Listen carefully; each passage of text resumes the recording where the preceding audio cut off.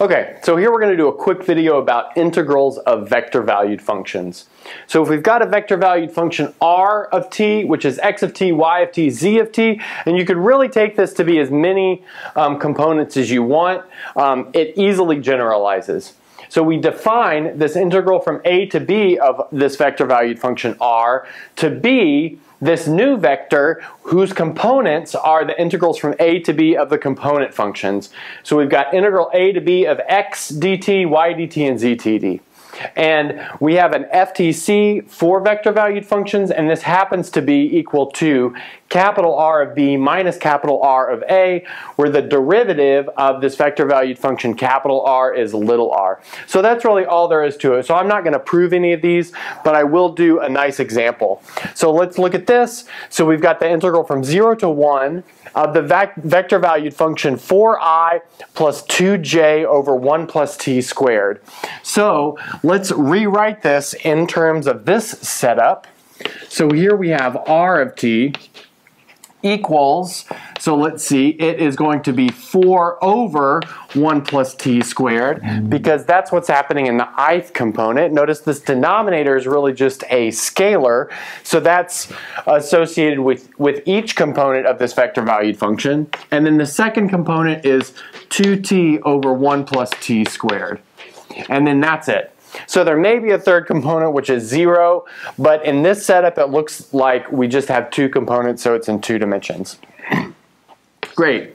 So now if we take the integral from 0 to 1 of r of t dt, that's going to be the vector given by, that's going to be the integral from 0 to 1 of 4 over 1 plus t squared dt, comma, the integral from 0 to 1 of 2t over 1 plus t squared dt. Okay, so we've got two fairly simple integrals to do. So this first one, we can take the antiderivative. The antiderivative of 1 over t mm-hmm. squared is the inverse tangent. So this gives us 4 times the arctan of x. We're evaluating that from 0 to 1.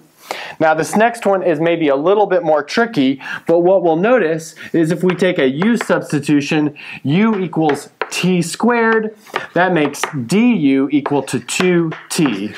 So notice our du term is in the numerator, and then our denominator is 1 plus u. So let's see, that's going to change this integral to the integral of 1 over 1 plus u du. And now let's see what happens to the bounds of integration. So notice when t equals 0, u is also 0. And when t is 1, u is also 1. So that's nice and simple. So we can take the antiderivative of that. That's pretty easy. That's going to give us natural log of 1 plus u evaluated from 0 to 1. And now notice we don't have to worry about an absolute value because everything we're plugging in will give us a positive argument of the natural log. Great. So now let's plug in some values. So the inverse tangent of 1 is pi over 4. So a 45 degree angle will make sine equal to cosine. That's how you can remember that. So 4 times pi over 4 is pi. The inverse tangent of 0 is 0.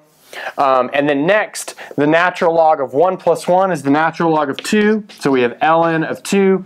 And then the natural log of 1 is 0. Um, so we get, in the end, pi plus the natural log of 2. And that's our final answer. Okay, so that's the end of this video.